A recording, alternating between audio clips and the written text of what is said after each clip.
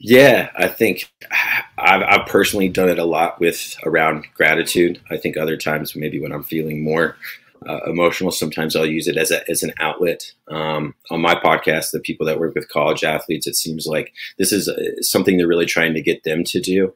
I think you know when you can connect um, thoughts to a page, you can also disconnect things, and a lot of times, sometimes that's person from player, person from athlete. Um, and those kind of things.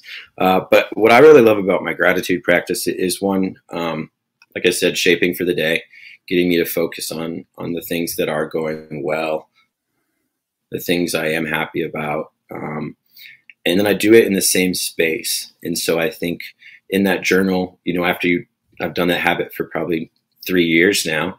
Um, you go through those journals, and man, you flip through those pages, and it's like, hmm, there's a lot in there